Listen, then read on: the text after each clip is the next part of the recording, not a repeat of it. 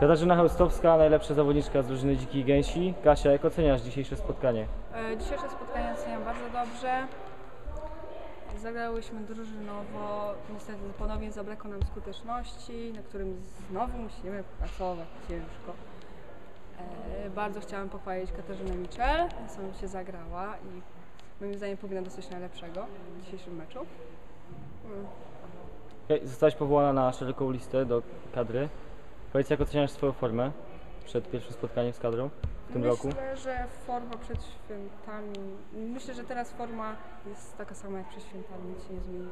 Okej, Chcesz kogoś pozdrowić na koniec? No to tak, e, Alicję Chewstowską, m, Monikę Kryjską, Paulinę Fotek, e, Katarzynę Rogale, Małgorzatę Raszyńską, Bognę Zielenkiewicz,